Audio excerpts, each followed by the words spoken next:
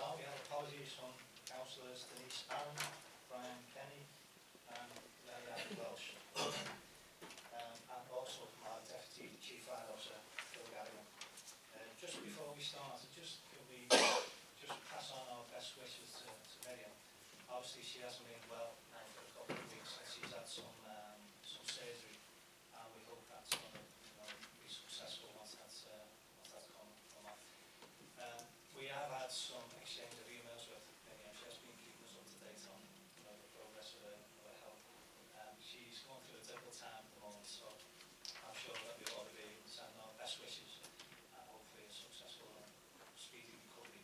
And uh, I just made a tribute as well to Leslie Council Benning. She's uh, been very supportive of of Miriam and trying to assist her wherever she possibly can. So uh, let's pass my thanks on to, to Leslie as well for your assistance that you've been doing.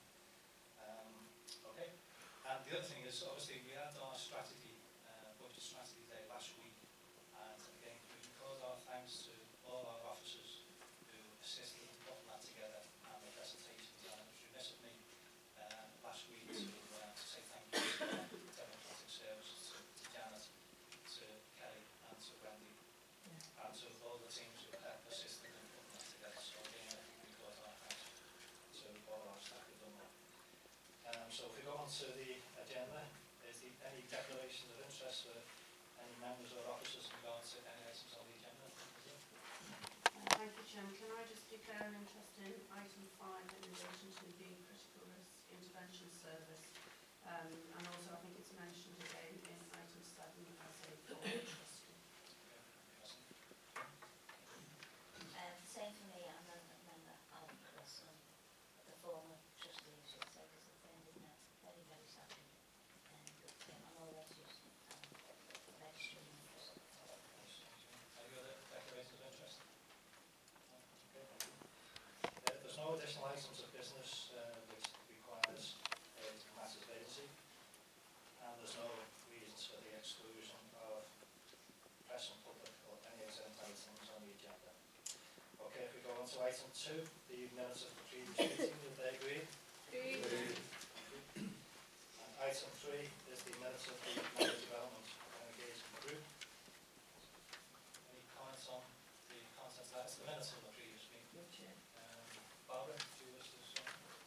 Just say it was a very good meeting, Chair, um, and thanks to people who attended. Uh, we have an action plan now, and if members read through the minutes, they'll see what things we require them to do. So things like uh, pen portraits for the hot news, etc., so that staff can know more about us. And also, we really want to put out that we are contactable, so our emails will be published as well. Thank you. Um, as we know, the hot news is, is produced now bi-monthly. Um, When's the next one due? Kelly, do you know?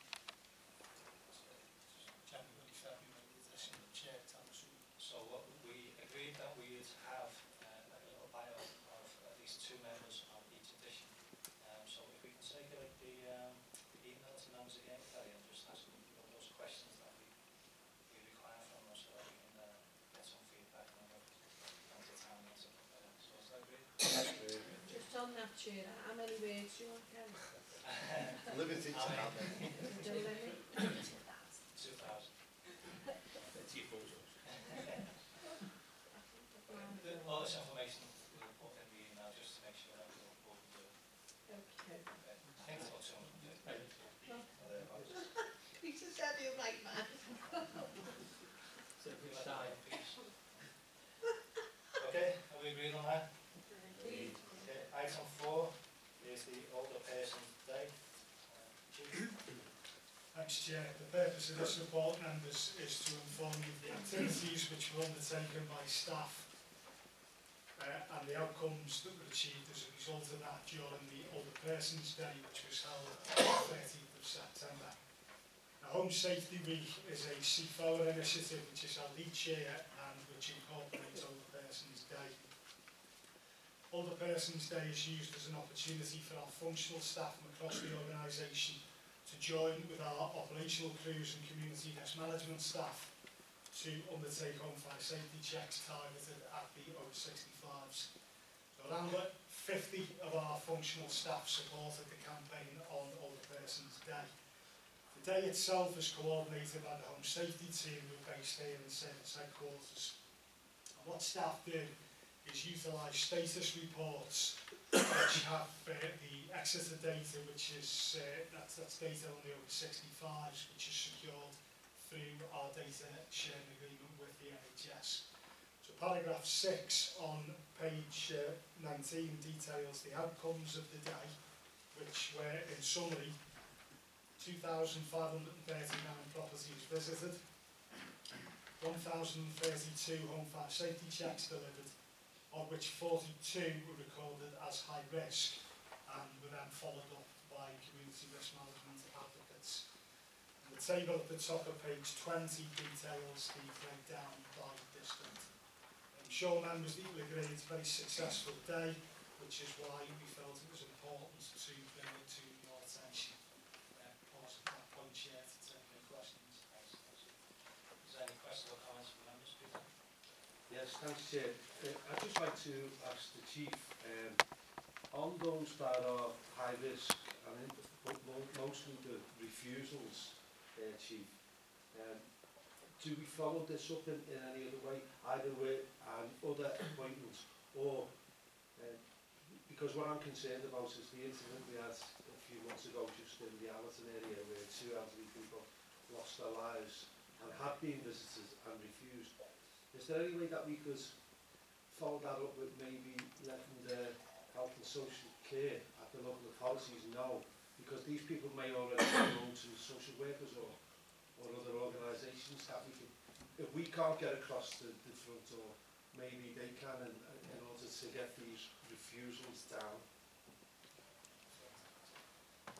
Thanks, Chair. Uh, to answer the first question then, the, in the event of a, uh, of a high risk referral, then that's picked up by community risk management team within the, the district that that referral is made. So, for example, Liverpool South would pick up the, uh, and indeed did pick up the, the property in, uh, in Allerton on, on Manor Avenue and repeatedly then revisited that property and at the same time engaged with partners in this instance with uh, partners from Liverpool City Council because you're aware with that particular issue the primary legislation there sat with the local authority rather than ourselves as you're aware our, our right of powers of entry only extend under section 44 to emergency so actually we, we can only make an entry when uh, when there is an incident ongoing or if we are entering the property to then enter another property which is affected by an incident. So in those circumstances, we very much do rely on the uh, on our partners to uh, to intervene where the legislation doesn't allow us to as the, as the primary agency. And as you were in those circumstances, that did result in, in a, very significant follow-up. Uh, that particular fatality is due, or, or double fatality is due to go to inquest uh, quite soon, and I'm certain that the coroner will pick up a number of those issues. And as you were, the coroner can issue uh, a regulation 28 ruling for the avoidance of preventable deaths, uh, which is a point I will return to later on in the, uh, in the agenda. Okay. Any other comments? I, I think that's a very important piece of because I think when we're, especially these days, we've got more vulnerable people, people that are longer, uh, more elderly people. Um, it's stated in the report that the majority of deaths are people from 65 and over. Um, so it's important that as a fire and rescue service, we get across those thresholds to do a home fire safety check and then do the signposting from there. And I think it's probably frustrating for our officers when you can see firsthand uh, somebody who is of a vulnerable nature, that we can't actually go in to give them the benefits of the advice and give them some reassurance in the event of any fire taking place in their property, which will eventually obviously save their lives. Um, unfortunately, what happened at Manor Avenue wasn't the case for there, but I think we need to look at in any way of, of raise this, especially with some of our members of parliament, it's the fact that we don't have the right of entry, we don't have the legal right of entry. But unless we refer it to one of the local authorities who will then follow up with a visit. But, you know, you wonder whether there is scope for the government to look at some form of legislation where we clearly identify those individuals who are at, at a high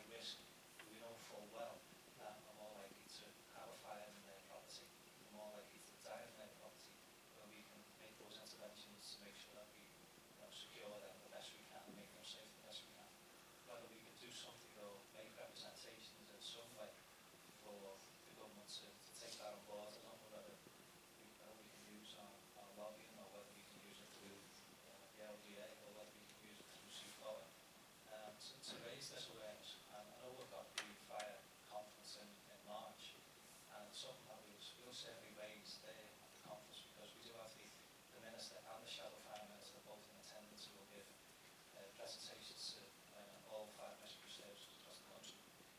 It gives the opportunity to question. So that is a a valid point, especially in this day and age where, you know, our resources are limited, so we need to ensure that we target our resources appropriately.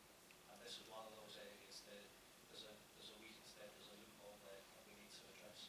And we can only, we can't do that on our own because the legislation does not allow us.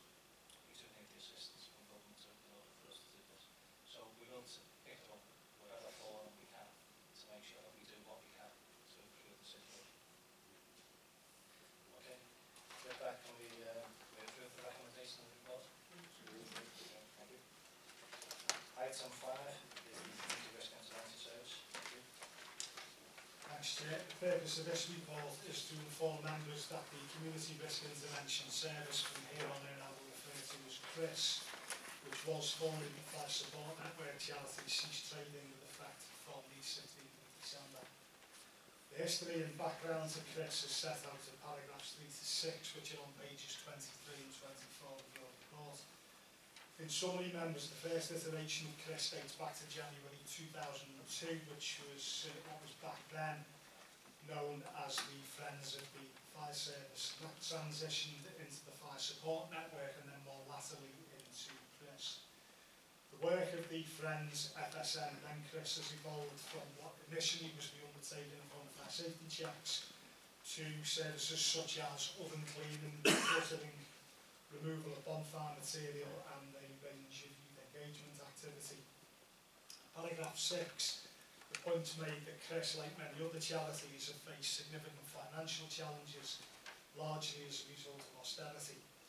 And by way of an example, the authority had to review the extent to which we could commission CRIS to deliver services on our behalf as against a direct result of our, of our budgetary pressures. The point made at paragraph 8 shouldn't be lost that, uh, on members. The demand for services uh, offered by CRIS is absolutely there. It is. That has not diminished in any way. The harsh reality is that organisations such as the authority can simply no longer afford to commission them the charities like CRIS, and the impact of that and other challenges from other authorities who are commissioning therefore funding CRIS are such that it can no longer afford to function. Paragraphs 11 to 13 on page 24 set out how officers will seek to fill the gap left by CRIS, which will be primarily through the use of volunteers and supplemented by the use of apprentices. Uh, the latter is an IRMP action and that will be reported to the authority on the separate cover at the budget meeting on the 23rd of February. Implicit within the report is a recognition of the excellent work that was undertaken And I'd like to take this opportunity to place on the record my appreciation for the immense contribution that they've made to community safety over the last 15 years. That's already something that's been relayed to me particularly by the chair and the deputy chief. and I'm sure members would, uh, would join me in supporting that, uh, that recognition. Uh, pause at that point, Chair, to take any questions. Thanks. Any questions? Jean? I'd like to make a contribution. I'm a relative, well, I was a relatively, sorry. I was a relatively uh, new trustee to uh, CRIS, it was Fire Support Network I joined.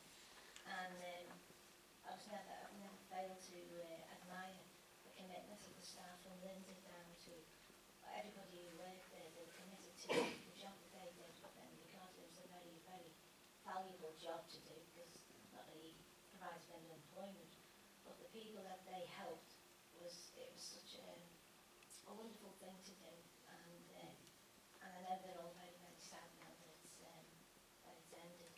Um, I hope suitable employment because they turned out to be such wonderful employees who have a lot to give to organisations.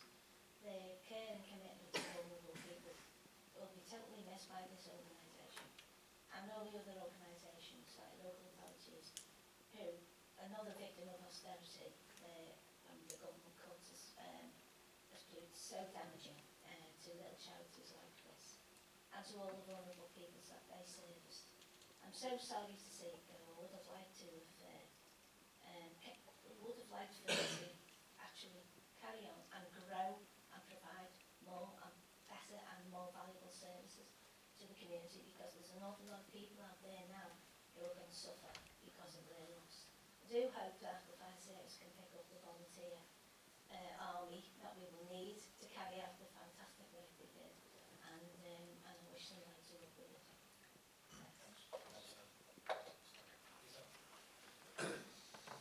I'd just like to um, support what Councillor Stapleton said, but you know, this, this is a, this is a tragedy that this organisation had to go uh, to the wall and, and cease uh, operating.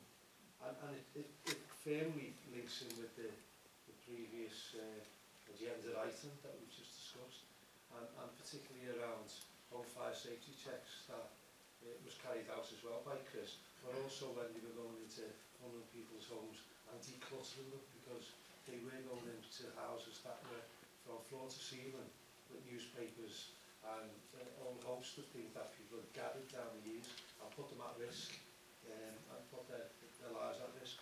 So it's, it's, it's a tragedy in two senses um, that we're, we're losing out on that service um, but also what they've been able to give to you know, our local communities and you know again um, it's the it's the cost of the austerity measures that are being uh, foisted upon us. Not to repeat obviously what, what's already been said, but um, to put on record the thanks obviously for the staff um, that were employed by CRIS. And I, I think talking to uh, the former chief executive the other day, I think all of them have found um, other employment, which, which is good. Um, but having said that, um, the staff are fantastic, but they couldn't have operated as they did without the volunteers, as I think Jean mentioned. And there were 90, up to 90 volunteers at uh, some particular times there. Those people are still there and still wanting to assist the fire service. So I don't know if you have the data um, in relation to where you can find those people, but I'm sure the uh, former chief executive would be able to furnish the fire service with that. Not only hopefully, and I don't mean this in the word, you know, it sounds awful, but to use them, um, but also at least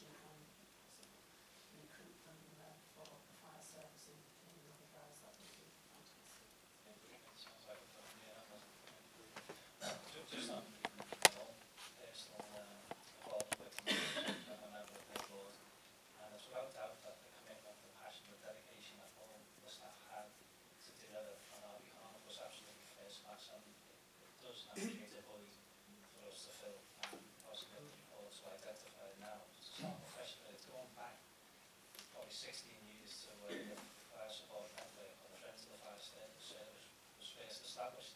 So we're going back in time, and instead of, you know, you, you're going to lose all that knowledge and that experience and that commitment, it's going to lose that. All because of, you know, the impact of the austerity measures, which is quite sad, because this government continually say to us that it's all about prevention, prevention, prevention. These, this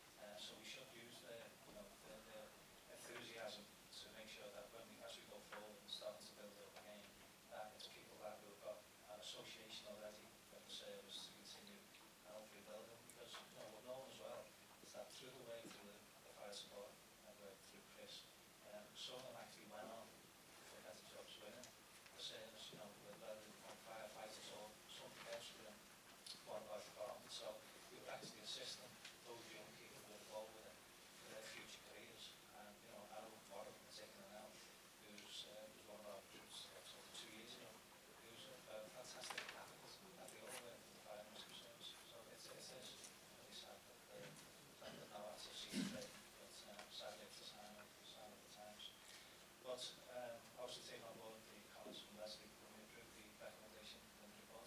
Thank you. William Chairman. Thank you very much. Okay, item six is to support the Syrian resettlement program. Thanks, Chair. The purpose of this report is to inform members of the contribution that the authority is making to the Syrian Refugee Resettlement Programme and specifically the contribution made by our Arabic speaking bilingual uh, advocate Suzanne Hazza. The backgrounds of the report, which uh, unfortunately members will no doubt be well cited on the set out in paragraphs 3 to 9, which are pages 27 to 28. The contribution made thus far by Suzanne and the contribution that she'll make over the next six months is described in paragraphs 10 through to 12. Just to point out, members, the full cost of this secondment is being met by those uh, the uh, Metropolitan Council. Uh, other contribution, uh, the contributions are made by the authority is set out at the bullet point list, which is in paragraph 14 at the bottom of page 28. Uh, I'm sure you'll agree, members, that this is another example of the contribution to community safety and cohesion across Merseyside made by this, uh, this fire rescue authority. I'll, uh, I'll pause at that point to take any questions you may have. Any questions or comments? Thanks, Chair.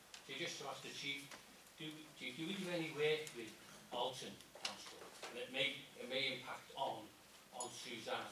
Because there's just been an application, change of use of a nursing home to a resettlement centre, Lily Cross, which sits on Wilmere Lane between St Helens and Halton. Uh, quite, some of the comments on social media were quite, a lot to be desired, to say the least. And I think the petition was something like four and a half thousand people against, although Halton Council has passed the resolution.